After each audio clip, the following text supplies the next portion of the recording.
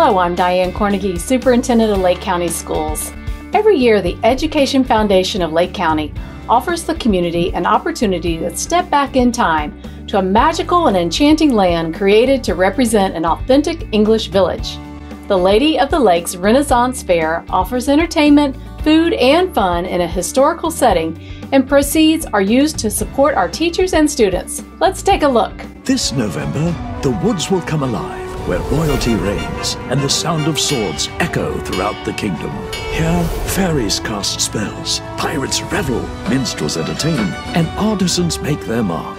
Eat, drink, shop, and journey to the Lady of the Lakes Renaissance Faire, a signature fundraiser for the Education Foundation of Lake County. For details, schedules, tickets, and discount days, visit lakerenfair.com. I want to thank the Education Foundation for making this event an important part of our community and a creative way to support our schools. It all starts this coming weekend, so get your tickets soon and enjoy the fun and the fantasy in the forest.